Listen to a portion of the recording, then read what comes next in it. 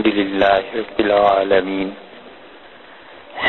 والصلاة والسلام على سيد الأنبياء والمرسلين. وعلى آله وصحابه اجمعين اما بعد.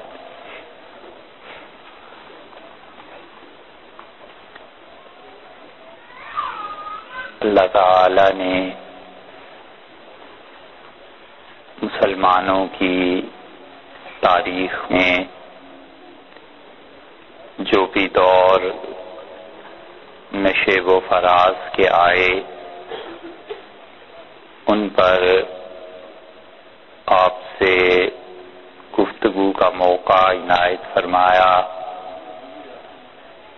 یہ خالصتا اللہ کی مہربانی۔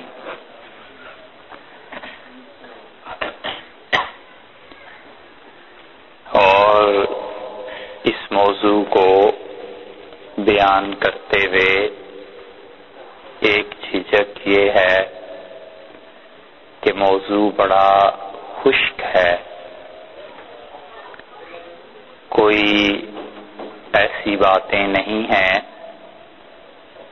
جن کی وجہ سے انسان کے دل میں کوئی نرمی یا خوشو اور خضو پیدا ہو۔ اور اس سے بڑی رکاوٹ یہ کہ بیان کرنے والا اس کو بھی کوئی علم نہیں۔ مگر جو بھی ہے، بس آپ کے سامنے ہی ہے۔ چوتھی صدی ہجری کے آخر کے حالات کل آپ سے عرض کر رہے تھے۔ کہ تین سو پچاس ہجری سے پہلے، تین سو پینتیس ہجری سے بھی پہلے اللہ تعالی نے معتزلہ کے رد کے لیے اور ان لوگوں کے توڑ کے لیے اور اس وقت پورے عالم اسلام کو جس مصیبت نے گھیر لیا تھا اقلیت کا غلبہ اور لوگوں کا غیر معمولی یہ رجحان کہ وہ ہر بات کی عقل پہ، پرکھیں، کسوٹی پہ یہ بہت نمایاں اور غالب ہو گیا تھا۔ اور معتزلہ کے اس موقف کے مقابلے میں اہل سنت والجماعت کا اور خاص طور پہ محدثین کا مزاج یہ تھا کہ ان میں ایک گروہ ایسا تھا جو بالکل انتہا پسند تھا اور وہ عقل نام کی کسی چیز کو سننا بھی گوارا نہیں کرتے تھے۔ اور وہ کہتے تھے کہ جو کچھ کتاب و سنت میں آیا ہے، بلا کم و کاست اسی طرح چلنا ہے۔ اور عقل کا کوئی مقام ایسا نہیں ہے کہ شریعت میں ہم اسے کوئی جگہ دیں۔ اور دوسرا گروہ جو صحیح معنی میں اعتدال کے ساتھ چل رہا تھا، وہ عقل کو اس کی اہمیت دینے کے لیے تیار تھے۔ اور انہوں نے بالکل اعتدال کا موقف رکھا اور انہوں نے کہا کہ نہ ہی تو عقل کو یکسر رد کر دینے سے کام چلے گا اور نہ ہی عقل کو شریعت پر حاکم بنا دینے سے کام چلتا ہے، بلکہ معاملہ دونوں کے بیچ میں ہے۔ اور بڑی اچھی مثال اور بڑا اچھا موقف جو اس وقت اہل سنت والجماعت نے دیا پورے عالم اسلام میں چار گروہ بڑے ممتاز تھے، ایک معتزلہ کا، ایک خارجیوں کا جن کا زور در حقیقت ٹوٹ چکا تھا، ایک ان کا اہل سنت والجماعت جو کہلاتے تھے، اور ائمہ اربا کی فقہ مدون ہو چکی تھی۔ اور چوتھا گروہ وہ جو تھا، ان میں کچھ کچھ اجتہاد کی باتیں ابھی پائی جاتی تھیں اور محدثین کا یہ چار سکول آف تھاٹ یا کیمپس آپ انہیں سمجھ لیں، یہ پورے عالم اسلام میں نمایاں نظر آتے تھے۔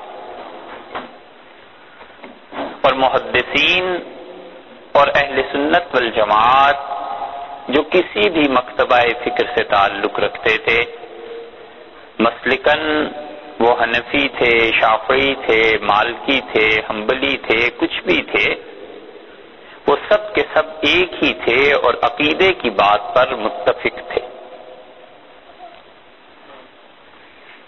دو چیزیں بالکل الگ الگ ہیں۔ ایک چیز یہ ہے کہ کوئی مسئلہ کسی انسان کی سمجھ میں نہ آئے اور وہ یہ کہے کہ یہ مسئلہ خلاف عقل ہے۔ اور ایک چیز یہ ہے کہ شریعت کی کوئی بات کسی کی سمجھ میں نہ آئے اور وہ یہ کہے کہ عقل سے بالا ہے۔ تو موقف اہل سنت کا یہ تھا کہ وہ کہتے تھے شریعت کے متعدد مسائل عقل سے بالا ہیں، عقل کے خلاف نہیں ہیں۔ اور یہ صحیح ترین موقف تھا جسے انہوں نے اپنایا۔ جتنے بھی معجزات تھے، جتنی بھی الہیات کی باتیں تھیں، اللہ کی ذات، اس کی صفات، اس کا غالب ہونا، عرش کے ساتھ رحمان کا تعلق، یہ سب کی سب چیزیں وہ کہتے رہے کہ یہ باتیں دیکھو، عقل سے ماورا ہیں، عقل کے خلاف نہیں۔ عقل بھی ایک ترازو ہے۔ اور ابن خلدون نے بڑی اچھی مثالیں اس کی دو دی انہوں نے کہا کہ عقل سنار کا ترازو ہے۔ اور سنار کے ترازو پہ جب سونا تولنا ہو تو آپ رتیوں کے برابر تول سکتے ہیں۔ چھوٹی چھوٹی جو اس کے پیمانے مقرر ہیں، اس پہ آپ تول سکتے ہیں۔ لیکن اگر کوئی آدمی چاہے کہ وہ اس ترازو پر پہاڑ کو تولنے لگے تو نہیں تلتا۔ وجہ یہ نہیں ہے کہ پہاڑ تل نہیں سکتا، وجہ یہ ہے کہ ترازو کا سائز چھوٹا ہے، یہ نہیں تول سکتا۔ اگر شریعت اور غیب کا عالم اور وہ دنیا جس پہ ایمان لانے کو انبیاء علیہ صلاحت والسلام کہتے ہیں عقل کے خلاف ہوتی، تو رسول اللہ صلی اللہ علیہ وسلم کی عقل میں بھی بات نہ آتی۔ معراج میں مثلا وہ گئے ہیں اور انہوں نے ان حقائق کو دیکھا ہے، جنت اور جہنم کو۔ اب اگر کوئی آدمی یہ کہتا ہے کہ رسول اللہ صلی اللہ علیہ وسلم جا ہی نہیں سکتے تھے۔ تو یہ تو ایسی بات ہے، اس کی تردید ہے جو یہ کہے کہ خود بخود تشریف لے گئے تھے۔ جب یہ کہا جائے کہ اللہ انہیں لے کر گیا تھا، تو پھر سوچ میں آنا چاہیے، بحث اس پہ آ جاتی ہے کہ کیا اللہ بھی اس بات پر قدرت رکھتا تھا یا نہیں رکھتا۔ اور رسول اللہ صلی اللہ علیہ وسلم نے جب ان چیزوں کو دیکھ کر اطلاع دی کہ ایسی ایسی چیزیں عالم غیب میں موجود ہیں، تو وہ ہماری عقل میں نہیں آ رہا۔ ہماری عقل کے خلاف نہیں ہے، عقل سے بالا ہے، عقل سے بلندر چیز ہے۔ ابن خلدون نے اس کی ایک مثال تو یہ دی ہے۔ اس کو مزید آسان کرنے کے لیے آپ میں سے اکثر لوگ جانتے ہیں کہ کمپیوٹر کیا ہے۔ اور یہ کمپیوٹر کی تھیوری کوئی بھی آپ ہم سے بیان کرنا شروع کر دیں اور ہم یہ کہیں کہ صاحب، اس کا وجود ہی دنیا میں نہیں پایا جاتا، تو آپ ہنسیں گے، کہیں گے کہ مولوی صاحب، آپ کی عقل سے باہر کی چیز ہے کیونکہ آپ نے اس کو پڑھا نہیں۔ اور یہ بات درست ہے۔ یہ نہیں کہیں گے کہ عقل کے خلاف ہے، کیونکہ عقل کے خلاف ہوتا تو یہ اتنی دنیا جو کمپیوٹر کے ساتھ بات کر رہی ہے اور بیٹھ کے کام کر رہے ہیں، یہ ان کے دماغ میں کیسے آ گیا؟ وجہ یہ کہ ان کی تربیت، ان کی تعلیم ایک نہج پہ ہوئی ہے اور اس نے انہیں بتایا ہے کہ کیا کام کرنا ہے۔ ابن خلدون نے دوسری مثال اس کی دی اور وہ بھی بڑی اچھی مثال ہے۔ اور حقیقتاً ابن خلدون کا جو مقدمہ ہے یہ پڑھنے کے قابل ہے۔ کسی استاد سے سبکن سبکن پڑھنا چاہیے تاکہ پتا چلے دنیا میں اقوام میں ترقی کرنے کے اصول کیا ہوتے ہیں اور موقف کیا ہوتا ہے۔ اصولی طور پر اور شریعت کا موقف کیا ہے۔ ابن خلدون نے جو مقدمہ لکھا ہے، کمال کی چیز لکھی۔ کہنا شاید نہیں چاہیے۔ لیکن جس نے بھی ابن خلدون کو قید کیا تھا، اس نے باقی آنے والے انسانوں پر اس معنی میں بڑا احسان کیا کہ اتنا بڑا آدمی اور اتنا بڑا دماغ کچھ نہ لکھ پاتا۔ مگر جب قید ہو گئے، پابند ہو گئے، تو جو اندر کی چیزیں تھیں انہوں نے لکھی اور مقدمہ اس صورت میں جیل میں وجود میں آیا۔ دوسری مثال ابن خلدون نے دی ہے۔ اور وہ کہتے ہیں کہ نگاہ کی ایک حد ہے اور اس کے بعد نگاہ کام نہیں کرتی۔ کان کی بھی ایک حد ہے اور اس کے بعد سماعت بالکل ختم ہو جاتی ہے، کچھ سنائی نہیں دیتا۔ بس اسی طرح انسان کا سارا علم اس کے ہوا سے خمسہ پر مبنی ہے۔ یہ فائیو سینسز جنہیں کہتے ہیں، ان پر مبنی ہے، اس کے ذریعے انسان کو علم حاصل ہوتا ہے۔ اور جہاں پہنچ کر انسان کے ہوا سے خمسہ جواب دے جاتے ہیں انبیاء علیہ السلاۃ والسلام اور وہی انسانوں کا وہاں سے ہاتھ پکڑ لیتی ہے اور پھر اس سے آگے کی سمت میں رہنمائی کرتی ہے کہ اب یہ یہ چیزیں بھی ہیں یہ تم سنو۔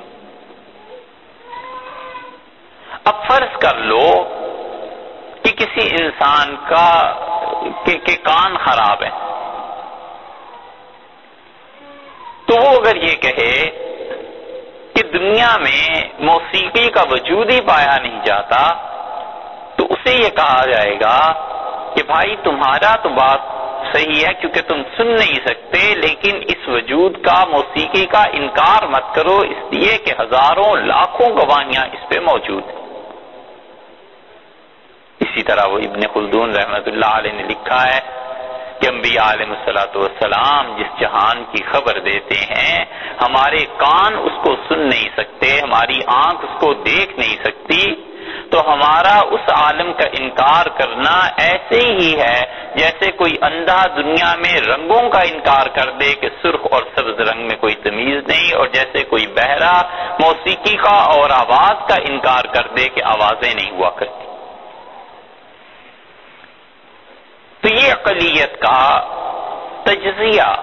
اگرچہ ابن خلدون تو بہت بعد میں آئے ہیں، لیکن اس وقت جو محدثین تھے، اعتدال کے رخ پہ، ان حضرات کا موقف یہی تھا۔ اور انہوں نے معتزلہ کے مقابلے میں اس موقف کو اپنایا بھی، اور امت کو بہت کچھ اس موقف نے دیا۔ اور انہوں نے بڑے عمدہ دلائل اس پہ قائم کیے۔ اللہ کی بے شمار رحمتیں ان پہ نازل ہوں۔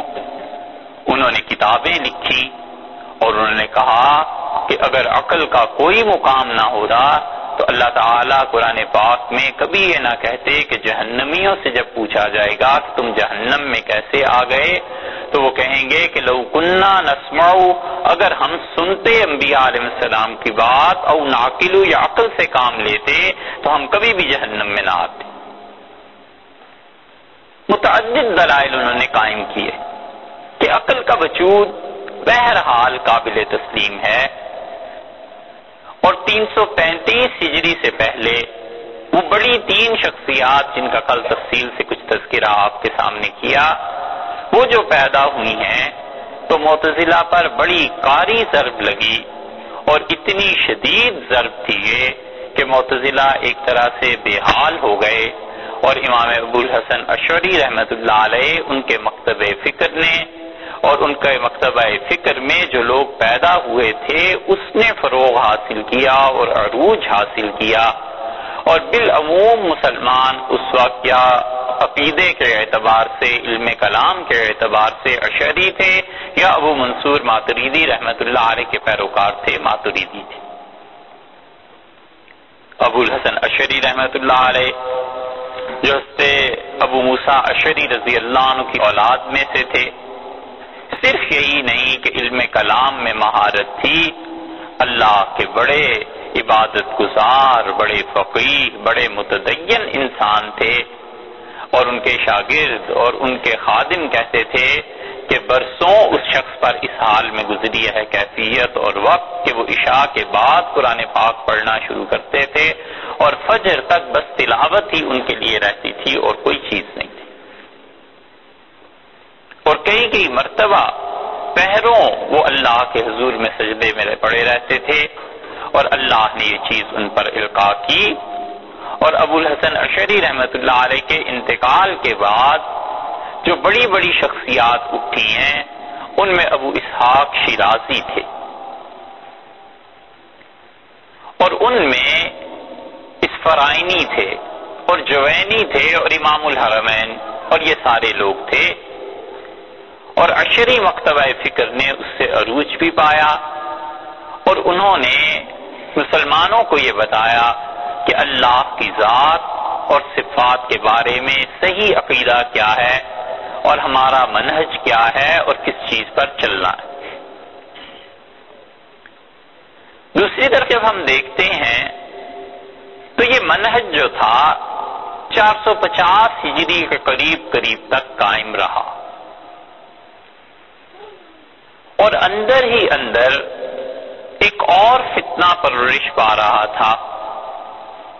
اور ان لوگوں نے اپنے کام شروع کیے اور وہ وہ لوگ تھے جو میدان جنگ میں آج سے تین صدیاں پہلے، چار صدیاں پہلے جن کے ابا و اجداد صحابہ کرام رضی اللہ عنہ کے ہاتھوں پٹ گئے تھے۔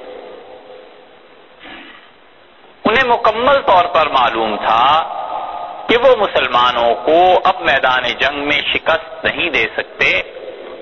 اور یہ بھی معلوم تھا کہ مسلمانوں میں کوئی ایسا فتنہ برپا کر لیں جو کھلے بندوں ارتداد کی طرف مسلمانوں کو لے آئے اور مسلمان مرتد ہو جائیں، وہ یہ کام بھی نہیں کر سکتے۔ تو انہوں نے ایک نئی راہ اپنائی اور اس راہ کے بیج جو تھے، وہ بہت پہلے پڑ چکے تھے۔ آپ ایسے ہی سمجھ لیجیے جیسے ایک قانون کوئی حکومت آج بنا دے اور اس کی امپلیمنٹیشن پچاس برس کے بعد کرے اور پھر حکومت کے کہ قانون تو اس وقت بنا ہوا تھا تو بات تو درست ہے۔ فلسفے کا جب عروج ہوا مسلمانوں پر، تو فلسفہ دو طرح سے آیا ہے۔ ارستو کی جتنی کتابیں تھیں ان کا ترجمہ جب ہوا مامون الرشید کے دور میں، تو بدقسمتی مسلمانوں کی یہ کہ ایک تو مصیبت یہ بنی کہ یونان کی زبان سے جو چیزیں منتقل ہوئی ہیں عربوں کے ہاں وہ ترجمہ کرنے والے خود صحیح ترجمہ کر نہیں سکے۔ کیونکہ کسی بھی کتاب کا ترجمہ کرنے کے لیے آپ بھی سمجھتے ہیں کہ صرف اتنا کافی نہیں ہے کہ ایک آدمی دونوں زبانیں جانتا ہو، بلکہ جس فن کی کتاب ہے، جب تک اس فن کے ساتھ اسے تعلق نہیں ہے، اس کا مزاج نہیں ہے، وہ ایک کتاب کو دوسری طرف منتقل نہیں کر سکتا۔ ایک آدمی جو ڈاکٹر نہیں ہے اور اسے اردو اور انگلش دونوں آتی ہیں، وہ اگر کسی میڈیسن کی کتاب کو لے لے اور اس کا ترجمہ کرنا چاہے تو آپ خود سمجھ سکتے ہیں کہ ترجمے میں وہ کیا دلکت بنائے گا۔ اور ایک ڈاکٹر جب ترجمہ کرے گا تو اسے دو زبانوں کے علاوہ ایک تیسری چیز بھی ہے، وہ یہ کہ اسے اپنے فیلڈ پہ عبور حاصل۔ تو ارستو کی کتابیں جب پہنچی دارالحکمت میں اور اس کے ترجمے ہونے شروع ہوئے تو مسلمانوں کی ترقی اور عروج کا زمانہ تھا۔ اور کوئی شخص یہ سوچ نہیں سکتا تھا کہ وہ بے پڑھے لکھے رہ جائے۔ اور شرم اور حیا اتنی غالب تھی کہ کوئی آدمی اس بات کا متحمل نہیں ہو سکتا تھا کہ وہ اپنے شہر کے علمی حلقوں میں نہ جاتا ہو، نہ پہچانا ہوا ہو، یا یہ کہ جو نئی نئی کتابیں آ رہی ہیں اس کو نہ پڑھا ہوا ہو۔ مسلمانوں کا مزاج سرے سے یہ تھا ہی۔ اس کی اگر ایک مثال آپ دیکھنا چاہیں تو امام حاکم رحمت اللہ علیہ کا دور وہ بھی وہی تھا، چوتھی اور پانچویں صدی کے بیچ کا یا پانچویں اور چھٹی صدی کے بیچ کا۔ اور حاکم کہتے تھے کہ جب وہ نشا پور پہنچے ہیں حدیث کا علم حاصل کرنے کے لیے، تو انہوں نے اپنی سواری سے سامان اتروایا، جس سواری پہ آئے ہوں گے۔ دو کلی آئے۔ اور انہوں نے کہا کہ آپ اجازت دیں تو آپ کا سامان اٹھا لیں۔ مزدوری کرنی تھی تو طے ہوا کہ اتنے پیسے پہ سامان اٹھا لیں۔ جب وہ چلے آگے کو تو ایک کلی نے دوسرے سے کہا کلی آپ سمجھتے ہیں؟ پورٹر۔ اچھا۔ ایک نے دوسرے سے کہا کہ وہ جو تم مجھ سے بیان کر رہے تھے کہ فلاں آیت کی تفسیر میں عبداللہ ابن عباس رضی اللہ عنہ نے یہ کہا ہے، وہ تفسیر یوں نہیں ہے، وہ تو یوں ہے۔ دوسرے نے سر پہ سامان رکھا ہوا اور اسے سمجھا رہا تھا کہ جو میں کہہ رہا ہوں، میرے پاس یہ یہ دلائل ہے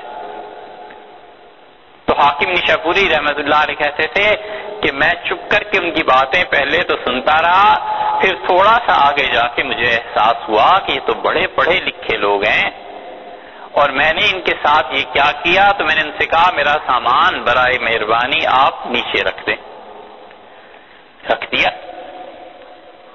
میں نے کہا، مجھے اندازہ ہے کہ آپ کو معاشی مجبوری یہاں لے کر آئی ہے اور اس وجہ سے آپ نوکری کر رہے ہیں تو مجھے اللہ نے کچھ زیادہ پیسے دیے ہیں، میں آپ کو دے دیتا ہوں اور آپ اس کام کو نہ کریں، سامان کوئی اور اٹھا دے گا۔ تو وہ ہنسے اور کہنے لگے کہ لڑکے معلوم ہوتا ہے پہلی مرتبہ آئے ہو۔ میں نے کہا، یہ میرا پہلے ہی سفر ہے۔ تو انہوں نے کہا کہ اچھا بس ٹھیک ہے۔ اور سامان اٹھایا اور چل پڑے۔ تو میں نے ان سے پوچھا کہ، آپ مسئلہ تو بتائیے، ہوا کیا ہے؟ انہوں نے کہا، سبحان اللہ، ہمارے شہر میں کوئی آدمی ہو، زندہ مرد اور عورت، اور اسے قرآن کی تفسیر نہ پتا ہو، بھلا یہ کیسے ہو سکتا ہے؟ انہوں نے کہا، اس شہر میں کوئی مرد اور عورت ایسا نہیں ہے جس سے قرآن پاک کی تفسیر نہ پتا ہو اس کے بغیر کیسے مسلمان رہ سکتے ہیں؟ تو میں نے کہا، آپ کے علماء کا کیا حال ہے اس شہر کا؟ ان کا علماء کے تو کہنے ہی کیا، ہماری تو ان کی ادب، ان کے علم کی وجہ سے ہمت نہیں ہوتی کہ ہم ان کی مجالس میں جا کر بیٹھ جائیں، ہم کھڑے ہو کے سنتے رہتے ہیں۔ علم تو اللہ نے ان لوگوں پر کھولا ہے، ہم تو صرف ان کو سننے والے یہ مزاج تھا مسلمانوں کا۔ اس لیے جو کتابیں آتی تھی نئی سے نئی، وہ نیا فلسفہ جو آتا تھا، نئی چیز جو آتی تھی، وہ لوگوں میں رائج بھی ہوتی تھی، پڑھتے بھی تھے اور اس کو پڑھ کے پھر معاشرے کا ماحول بنتا تھا کہ یہ کیا چیز ہے۔ ارستو کی کتابیں آئیں اور ترجمہ کرنے والے جو تھے انہیں خود اندازہ نہیں تھا کہ ترجمہ کیا سے کیا کرنا ہے، اور انہوں نے ان کو یونانی زبان سے عربی میں جب منتقل ہوا تو اس فلسفے کے ساتھ دو چیزیں ہو گئیں۔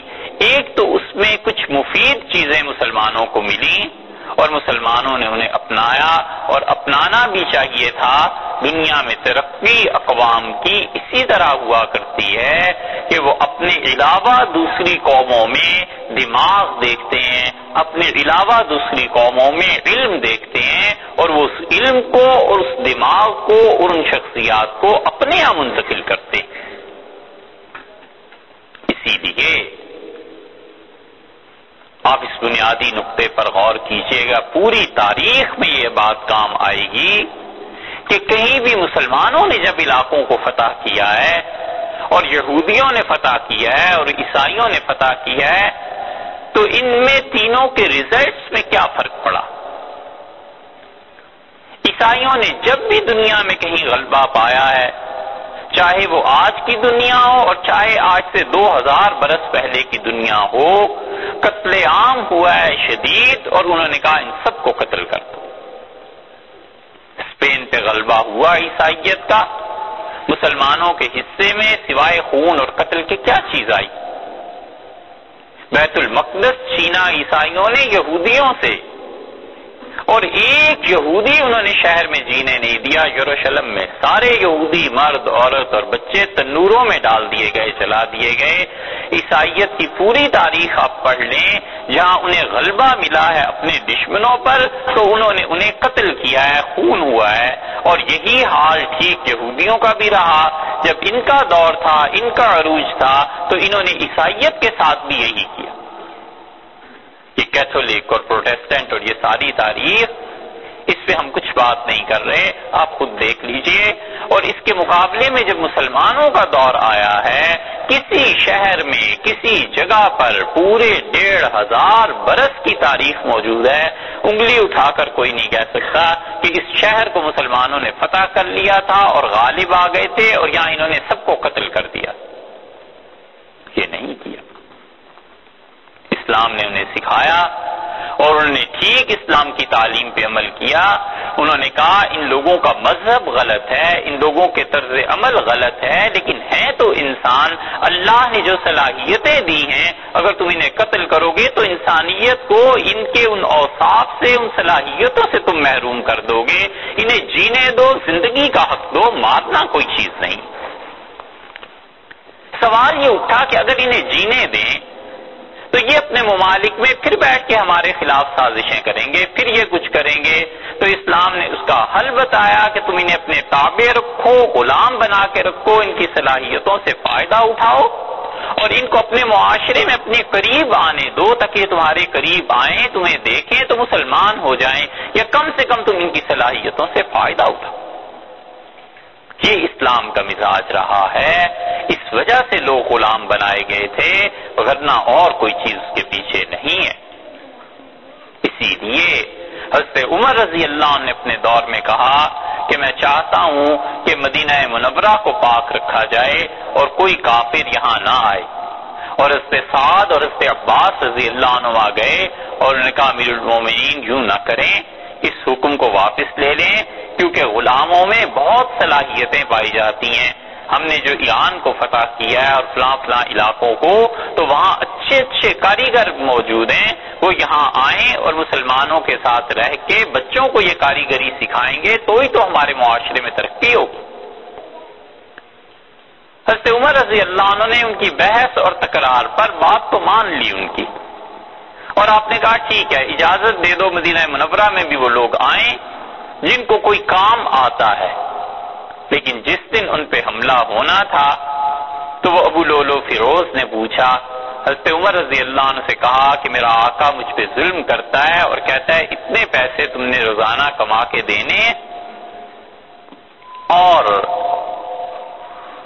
میں اتنے نہیں کما سکتا۔ تو حضرت عمر رضی اللہ عنہ کا تمہیں کیا کیا کام آتا ہے؟ اس نے کہا، لوہے کے کام کر لیتا ہوں، شیشے کا کام کر لیتا ہوں، لکڑی کا کام کر لیتا ہوں۔ جب اس نے گنوائیں اپنی چیزیں، تو اس عمر رضی اللہ عنہ نے کہا، یہ تو بہت تھوڑے پیسے ہیں جو تم سے کوئی کہہ رہا ہے۔ اتنا کام تمہیں آتا ہے مدینہ منورہ میں، تعمیرات کا کام ہر طرف ہے، تم کما سکتے ہو۔ اور پھر فرمایا کہ میری چکی خراب ہو گئی ہے۔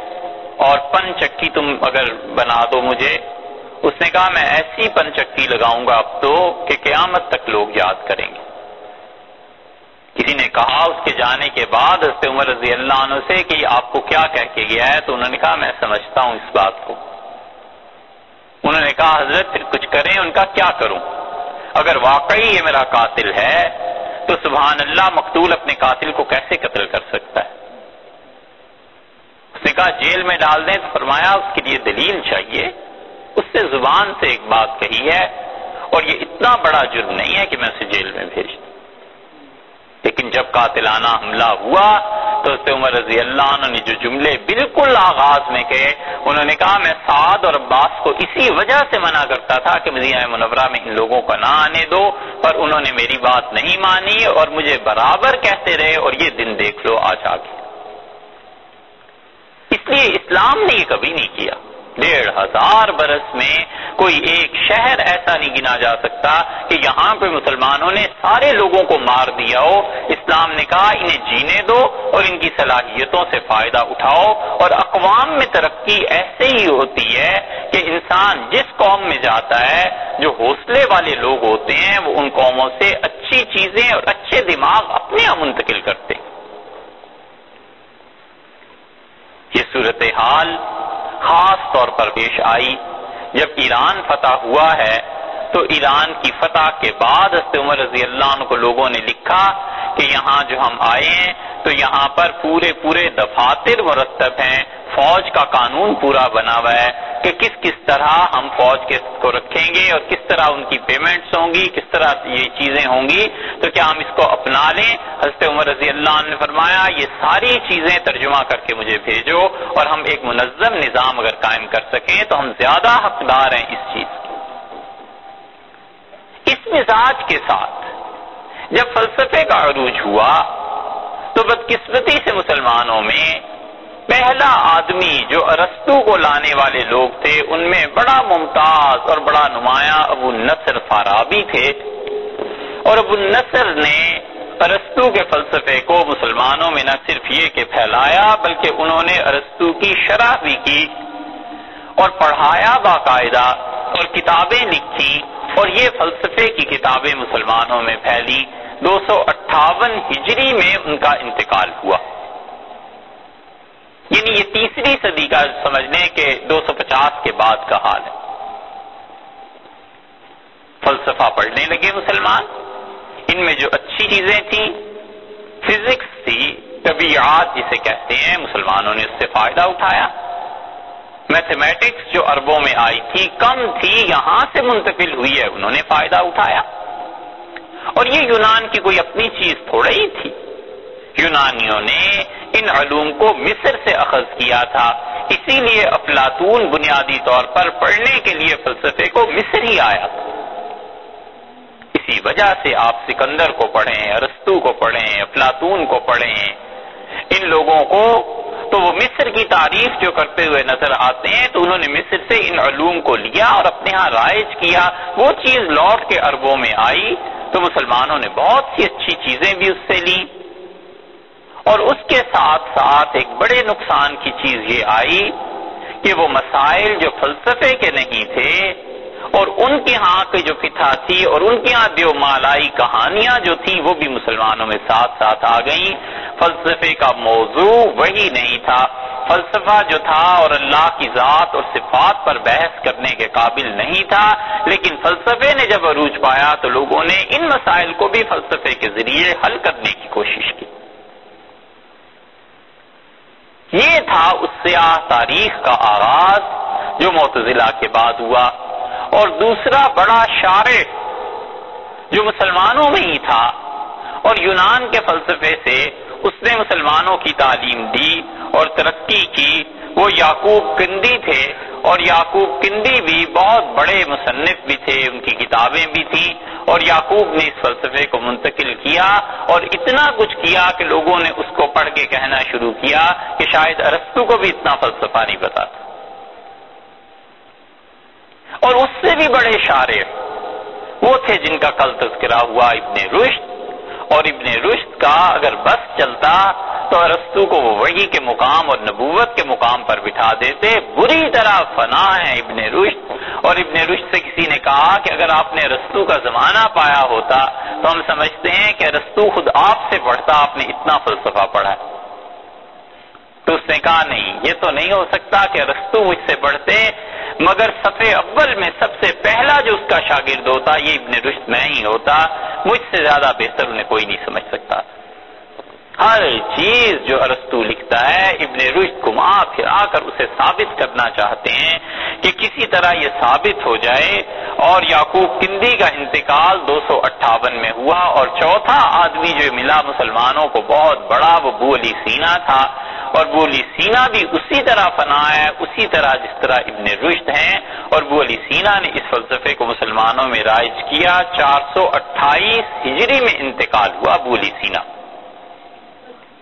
تو جو چیزیں دو سو اٹھاون، دو سو پچاس سے چلی تھی، آپ اندازہ کیجیے دو سو برس مسلمانوں میں یہ فلسفہ رہا ہے اور بو علی سینا کو اسی لیے بعض لوگوں نے کافر قرار دیا ہے کہ جو لوگ بو علی سینا کو پڑھے ہوئے نہیں ہیں، وہ سمجھتے ہیں مولویوں کو اور کوئی کام ہی نہیں تھا کہ کافر بناتے رہتے تھے۔ بو علی سینا نے ایسی ایسی چیزیں واقعی لکھی ہیں جو کفر پہ دلالت کرتی۔ مادے کو قدیم ماننا اور یہ نظریہ اور عقیدہ کہ ایک اللہ ہے جو ہمیشہ سے ہے اور ہمیشہ رہے گا اور ایک اسی طرح مادہ ہے۔ میٹر یہ ہمیشہ سے ہے اور ہمیشہ رہے گا اور اس مادے پہ فنا نہیں آیا کرتی۔ کوئی آئنسٹائن اسے نہیں ملا جو بتاتا کہ یہ تھیوریز بھی ہوا کرتی ہیں۔ ان چیزوں کے اقرار جب عقیدے سے ٹکراتے تھے تو لوگوں نے اسے کہا کہ اس عقیدے کی تصویر کرو۔ کمال حاصل تھا۔ ابو علی سینا کو دو چیزوں میں، کفر کی تو بحث اس کی الگ ہے، کیونکہ اکثر لوگ اسے مسلمان ہی مانتے ہیں، اس لیے اس بحث میں نہیں پڑھتے مگر کمال حاصل تھا ابو علی سینا کو ایک طب میں اور ایک فلسفے میں۔ اور طب تو اس کے لیے ایسے ہی تھا میڈیسن اس زمانے کا، جیسے کوئی کسی کو گھر میں نوکر رکھ لے، اتنا کمال اس شخص کو حاصل تھا۔ ایک آدمی کو اس نے دیکھا اور کہنے لگا کہ تم کیسے جیتے پھر رہے ہو؟ تمہیں تو پچھلے سال مر جانا چاہیے تھا۔ اس نے کہا، آپ نے تو جواب دے دیا تھا اور ایک فلاں آدمی کے پاس گیا تھا اور اس نے مجھے میڈیسن دی اور اس کی وجہ سے میں ٹھیک ہو گیا ہوں۔ تو کہنے لگے کہ اس نے کیا دوا دی تھی؟ اس نے کہا جی یہ تو وہی جانتے ہوں گے اب کیا دوا تھی۔ وہ لسینا اس کے پاس گئے اور سکیم سے کہا کہ مجھے وہ دوا بتاؤ۔ اور یہ اس زمانے سے بیماری چلی آتی ہے یہ جتنے لوگ پڑھتے پڑھاتے ہیں طب کو مر جائیں گے، مگر وہ نہیں بتائیں گے کہ ہم نے کس چیز سے علاج کیا۔ مر جائیں گے۔ اور یہ وہ چیز تھی جس کو رسول اللہ صلی اللہ علیہ وسلم نے ناپسند کیا۔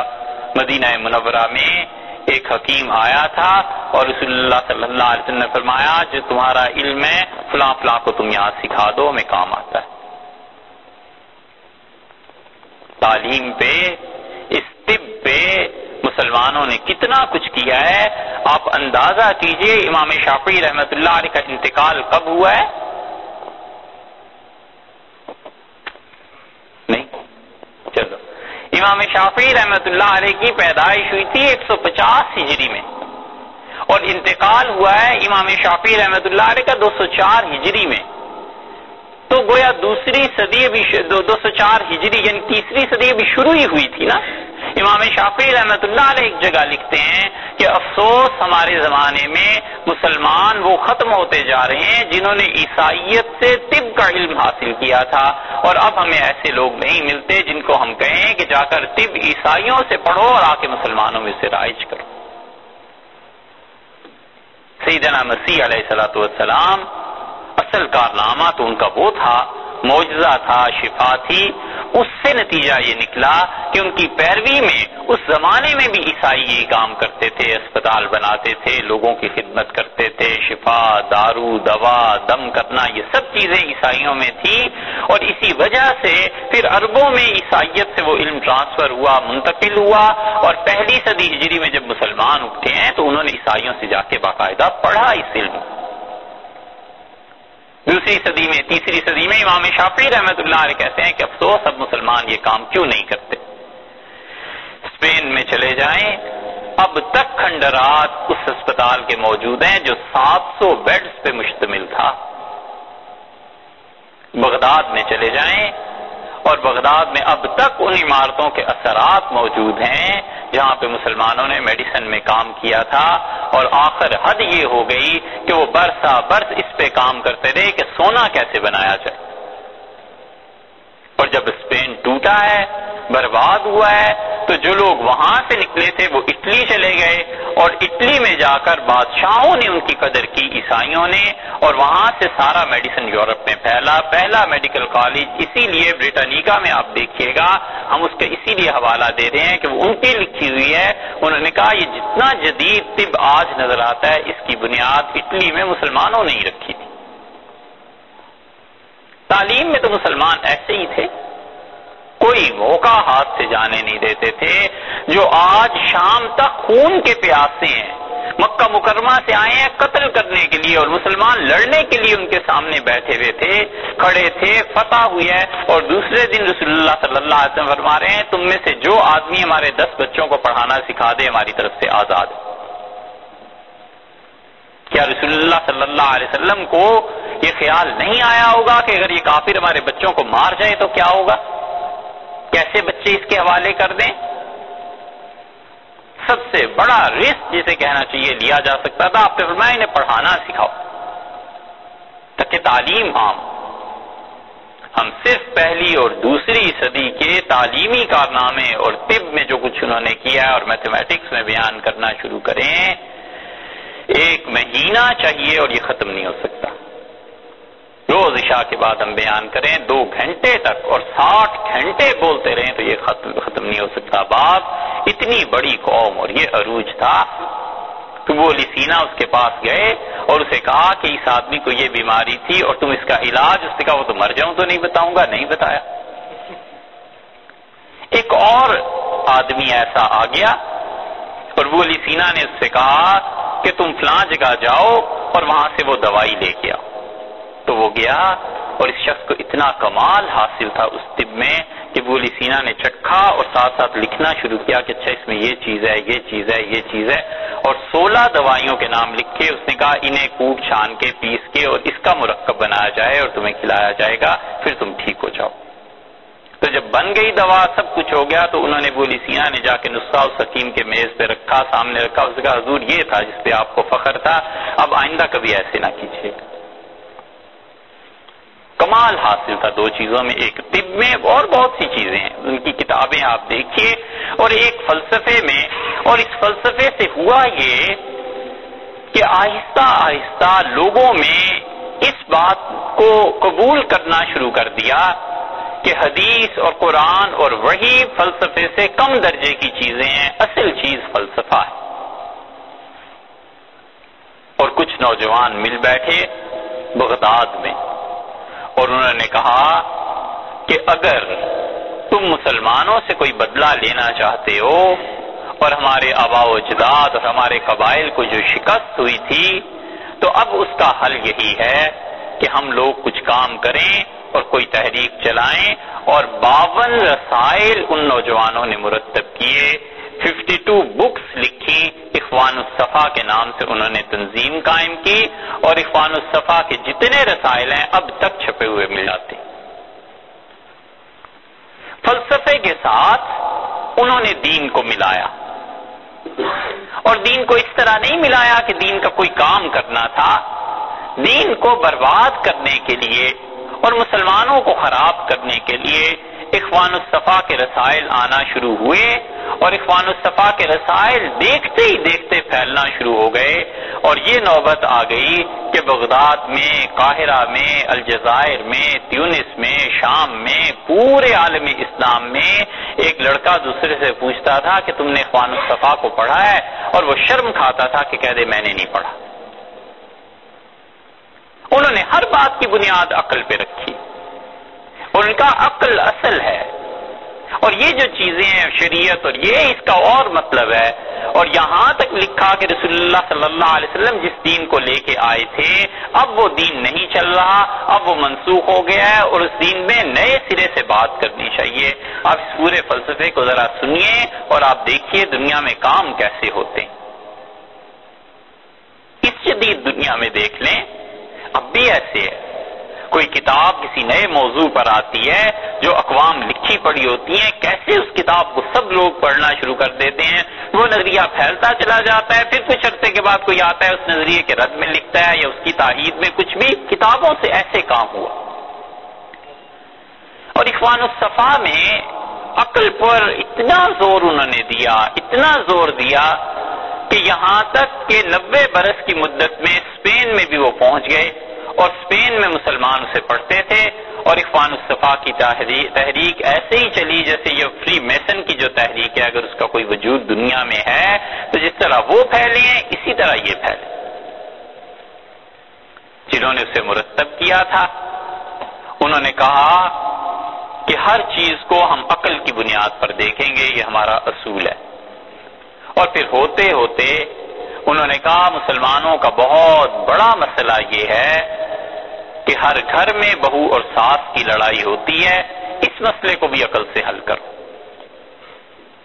اور پھر لکھا کہ دیکھو، عقل میں یہ بات آتی ہے ہے یہ بات بڑی بےحودہ، لیکن آپ سے اس لیے کہہ رہے ہیں کہ جو عقل کے فرما روا ہوتے ہیں نا، اور نبوت اور وہی کو عقل کے تابع کرنا چاہتے ہیں پھر وہ گمراہ ایسی حرکتیں کرتے ہیں۔ انہوں نے کہا کہ شادی سے پہلے گھر کے سارے کام کون کرتا ہے؟ کپڑے ہمارے کون دھوتا ہے؟ کھانا ہمارے لیے کون بناتا ہے؟ والدہ بناتی ہیں۔ اور والدہ جب بوڑھی ہو جاتی ہیں تو بہنیں یہ کام کرتی ہیں۔ اب ایک لڑکی جب باہر سے آتی ہے اور اس گھر کا مزاج اور ماحول اسے نہیں پتا، تمہیں وہ جانتی نہیں ہے، تو ظاہر ہے کہ والدہ بوڑھی ہو گئی ہیں اور وہ آنے والی جوان ہے، تو ان دونوں میں تو ٹکراؤ ہوگا۔ اس کی صورت یہ ہے کہ سارے کام، کھانا، پینا، کپڑے، یہ وہ سب چیزیں جو تمہاری بہن کرتی ہے، سارے کام ایک لے دے کے جن سے ضرورت رہ جاتی ہے، وہ بھی اسی کے ساتھ پوری کرتی ہے۔ نے کہا عقل میں یہ بات آتی ہے اور اس کا رد بتاؤ کہ آخر کیوں ایسے نہ کیا جائے؟ نتیجہ اس کا یہ نکلے گا کہ رشتے بھی ہو جایا کریں گے اور یہ ساری چیزیں بھی ہو جائیں گی۔ علیہ باللہ، یہ اخوان الصفا کبھی آپ اٹھا کر دیکھیں، یہ نظریے تھے، اس طرح یہ چلے ہیں۔ یہ اب بھی جو عقل کی بڑی دعوت دیتے ہیں اور چاہتے ہیں کہ خدا کی وحی کو اس کے تابع کر دیں، وہ لائیں اس کا جواب خالصتاً عقل سے چھوڑ دیں پھر شریعت کو، عقل کی بنیاد پر اس کا رد کریں۔ یہ بے لگام عقل ہے۔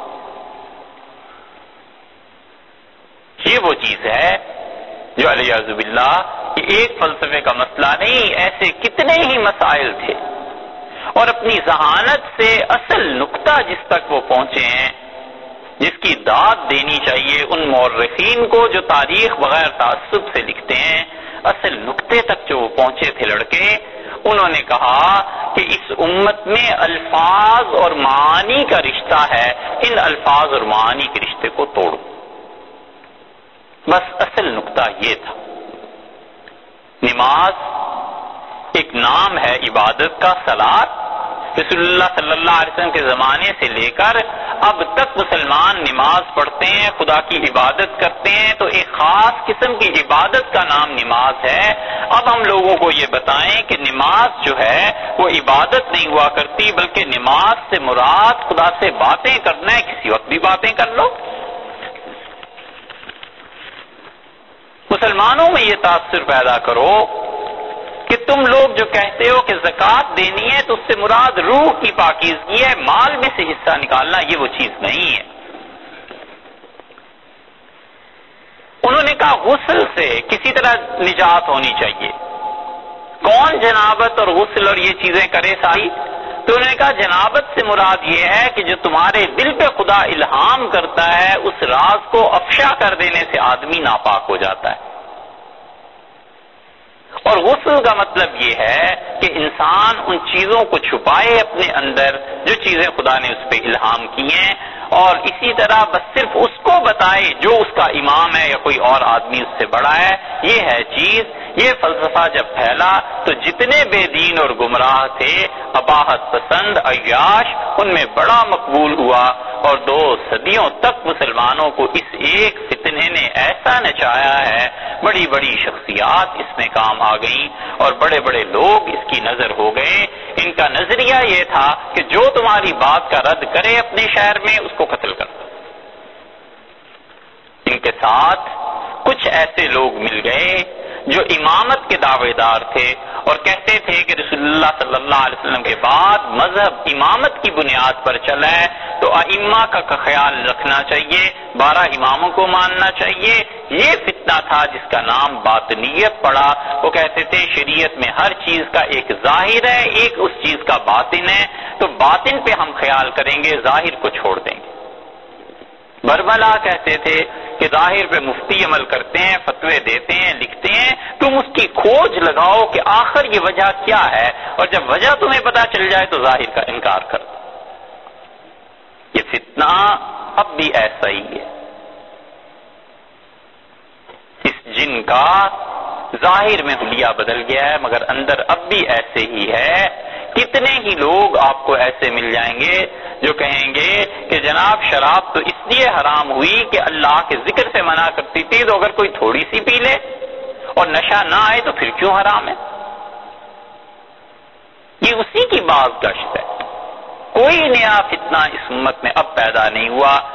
اس لیے کہ وہ جو دماغ فتنے پیدا کرتے تھے، اب وہ دماغ دنیا کے کام آتے ہیں، اب دین پہ غور نہیں کرتے۔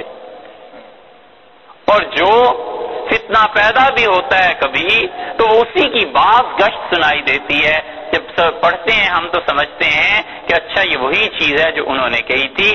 یہ تھا وہ نقطہ جس تک پہنچے کہ انہوں نے کہا، الفاظ اور معانی کا رشتہ آپس میں کاٹو۔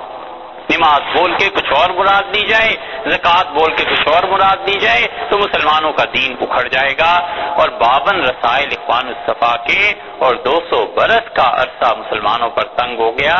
یہاں تک کہ لکھنے والے لکھتے ہیں کہ اسفہان ہمارے شہر میں جو آدمی عصر کی نماز تک کے بعد گھر واپس نہیں آ جاتا تھا، سب یہ جانتے تھے کہ کسی باطنی کا شکار ہو گیا ہوگا، اس نے مار دیا ہوگا۔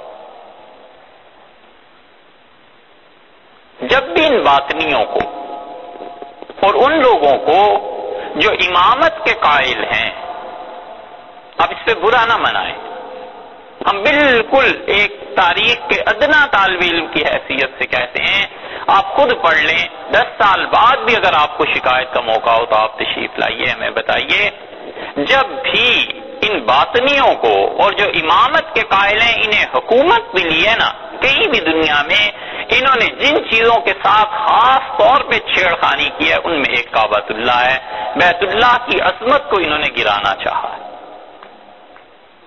سیاسی تحقیقات اٹھا اٹھا کر کہ کسی طرح بیت اللہ کی مرکزیت ختم ہو، مسلمان جو یہاں پر آتے ہیں یہ ٹوٹ جائے ان باطنیوں کا فتنہ اتنا بڑھا اتنا بڑھا اور کرامتیوں کا اور امامت کے جو قائل تھے فقہ جعفریہ کے ماننے والے، حتیٰ کہ بیت اللہ پر قبضہ ہوا اور وہاں سے حجر اسود کو اکھیڑا اور اٹھائیس برس تک حجر اسود وہاں نہیں تھا، وہ لے گئے اپنی ایک جگہ پر جہاں کہ وہاں نصب کر دیا اور مسلمان جو حج کرنے آئے تھے، سب کو اٹھا اٹھا کر دیواروں سے مارتے رہے، بچے عورتوں سے چھین کے مارتے رہے اور مارتے رہے۔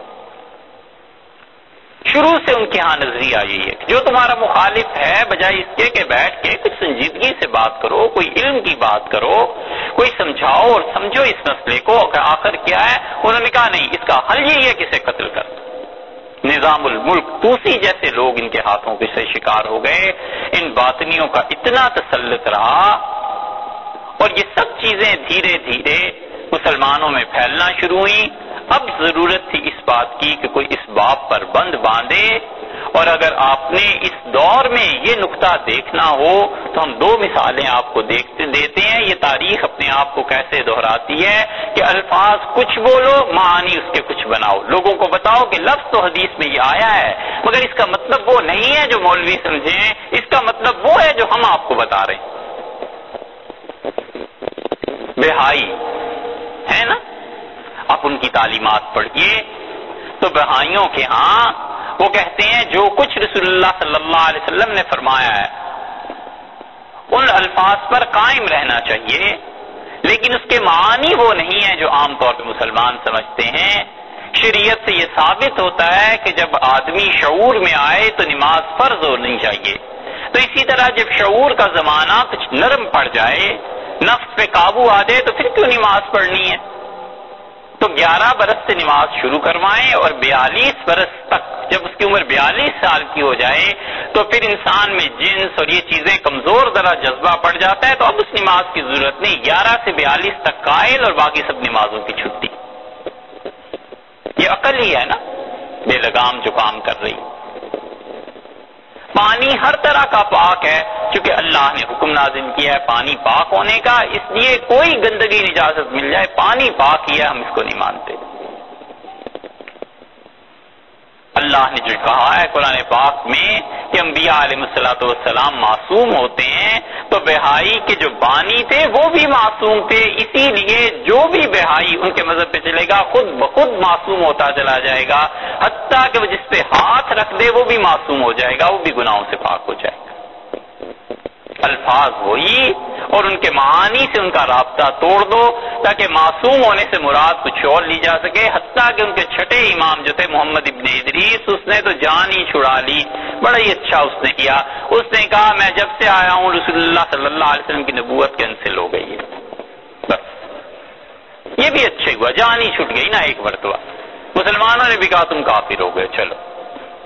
اور اس کی دوسری مثال اگر آپ دیکھنا چاہیں، تو آپ کبھی سنجیدگی سے پڑھیں، وہ ہمارے زمانے میں قادیانیت ہے، مرزائی ہیں، کہ وہ حدیث کو، قرآن کو، اس کے اصل الفاظ کے ساتھ ہی بیان کرتے ہیں اور وہ کہتے ہیں، صاحب، اس کا مقصد یہ نہیں، یہ ہے۔ مثلا،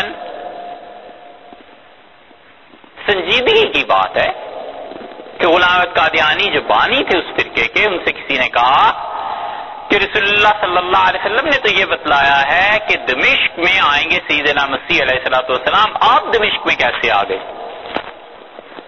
تو انہوں نے اپنے پہلے خلیفہ حکیم نور الدین کو خط لکھا کہ یہ حدیث لوگ مجھے بتاتے ہیں، تم اس کا حل بتاؤ۔ اور حکیم نور الدین اصل میں وہ بد وقت تھا جس نے اسے بار بار لکھا کہ تم مسیح ہو، تم دعویٰ کرو، تم دعویٰ کرو۔ یہ تو جتنا پاگل تھا سو تھا ہی، اس کو پڑھانے والا بھی وہ تھا حکیم نور الدین۔ جب اس نے دعویٰ کر لیا تو اس نے کہا، مسلمان تو یہ کہتے ہیں اس کے حدیث کا مسلم میں آئیے، اس کا کیا جواب ہے؟ اب جواب تو اس کے بعد بھی نہیں تھا، اس نے اسے خط لکھ دیا کہ سوچو اس مسئلے کو۔ تو دیکھا تو اس نے کیا کیا؟ اس نے کہا، بالکل صحیح حدیث ہے۔ رسول اللہ صلی اللہ علیہ وسلم نے یہ جو فرمایا ہے کہ دمشق میں آئیں گے تو نبی کریم صلی اللہ علیہ وسلم کی مراد یہ تھی کہ مدینہ منورہ سے دمشق جنوب کی سمت میں پڑتا ہے اور قادیان بھی جنوب کی سمت میں ہے تو مراد یہ تھی کہ جنوب میں آئیں گے تو میں بھی جنوب میں ہی آیا ہوں۔ کسی نے کہا، حضور، وہاں تو یہ آیا ہے حدیث میں کہ مسیح علیہ السلام آئیں گے۔ اور دو چادریں ہوں گی ان کے جسم پہ زرد۔ اس نے کہا بالکل ٹھیک حدیث مجھ پہ فٹ آتی ہے۔ دو زرد چادریں میرے پاس بھی ہیں، ایک اوپر زرد چادر اور ایک نیچے مسیح علیہ السلام۔ ایسے ہی پہنیں گے نا اس نے کہا اوپر کی زرد چادر دیکھ لو، میں شوگر کا مریض ہوں اور نیچے کی زرد چادر دیکھ لو، پیشاب بہت آتا ہے۔ یہ زرد چیزیں کسی نے لکھا کہ رسول اللہ صلی اللہ علیہ وسلم نے تو فرمایا تھا کہ وہ سفید منارہ ہوگا، اس پہ تشریف لائیں گے، اس پہ پھنس گئے۔ اور خط لکھا اپنے سارے مریدوں کو کہ میں منارت المسیح بنانا چاہتا ہوں، پیسے بھیجو۔ چندہ سارا آیا تو لوگ ہنسے۔ انہوں نے کہا، وہاں منارہ پہلے بنے گا، مسیح بعد میں آئے گا۔ یا مسیح پہلے آ گیا، منارہ اب چندے سے بن رہا یہ ہے الفاظ اور معانی کا تعلق۔ کیسے توڑو اور لوگوں کو یہ سمجھاؤ کہ جو الفاظ یہ بول رہے ہیں حدیث کے، اس سے معنی یہ بنتے ہیں۔ کسی نے کہا دجال، یہ اسی نے اپنی کتاب میں لکھا ہے، کوئی ایسی بات نہیں ہم کر رہے اس نے کہا بالکل رسول اللہ صلی اللہ علیہ وسلم نے فرمایا تھا، دجال آئے گا اور دجال کی ایک آنکھ ہوگی۔ تو کسی نے کہا آپ آ گئے اور دجال ابھی تک نہیں آیا۔ تو اس نے لکھا کہ دجال سے مراد رسول اللہ صلی اللہ علیہ وسلم کی یہ ہے کہ وہ دجل دینے والا، فریب دینے والا ہے۔ تو ہمارے زمانے کے جو عیسائی پادری آئے ہیں، یہ دجال ہے۔ پھر کسی نے لکھا کہ یہ دجال نہیں ہو سکتے، تو اس نے کہا یہ ریلوے کا انجن تم دیکھتے ہو نا۔ اس کے اوپر ایک آنکھ جو تمہیں نظر آتی ہے، یہ ہے در حقیقت دجال۔ ریلوے کا پرانا انجن جو تھا، اس نے کہا دجال سے مراد یہ ہے۔ کیونکہ لوگوں نے کہا اس کی تو ایک آنکھ ہوگی تو اس کا اس کی بھی تو ایک ہی آنکھ ہے۔ یہ الفاظ اور معانی کا رشتہ توڑنا، یہ آ گیا تھا ان میں۔ نتیجہ اس کا یہ نکلا ہے۔ اب کہ بہت سے لوگ آپ کا دھیانوں سے بات کریں، وہ کہتے ہیں، صاحب، یہ جو کچھ کتاب و سنت میں آیا ہم اسے مانتے ہیں، تسلیم کرتے ہیں، لیکن اس کا مطلب یہ نہیں ہے جو آپ سمجھیں۔ مطلب اس کا ہم بیان کریں۔ گے یہ فتنہ پانچویں صدی کے آخر تک رہا۔ اور باطنی اتنے غالب آ گئے تھے کہ انہوں نے حج کو اپنی طرف سے ساقت کر دیا، عمرے کو ساقت کر دیا، قرآن پاک کو ہٹوا دیا اور جہاں تک ان کا بس چلا لوگوں کو مارتے چلے گئے۔ اب ضرورت تھی کہ کوئی ایسا آدمی آتا جس نے اس فلسفے کو بھی پڑھا ہوا ہو، ان ساری چیزوں کو پڑھا ہوا ہو اور اب وہ ان باطنیوں کے ساتھ آ کے ٹکر لیتا۔ اللہ نے اپنی سنت کے مطابق اور اللہ نے اپنے کرم کے ساتھ ایک شخصیت کو پھر پیدا کیا اور وہ امام غزالی رحمت اللہ علیہ تھے۔ چار سو پچاس ہجری میں امام غزالی رحمت اللہ علیہ پیدا ہوئے اور پھر انہوں نے سب سے بڑے کارنامے جو انجام دیے، ان میں سے ایک یہ تھا کہ انہوں نے باطنیوں کے خلاف لکھا اور آپریشن کیا اور باقاعدہ بتایا کہ کیا کیا چیز گمراہی کی ہے اور تم اپنے آپ کو کیسے گمراہی سے بچا سکتے ہو۔ کل کی نشست میں انشاءاللہ اس کے بعد کی بات کریں گے۔ آپ اجازت دیں تو دو تین باتیں اور عرض کروں۔ چھوٹی چھوٹی ٹیپ یہ نہ کرو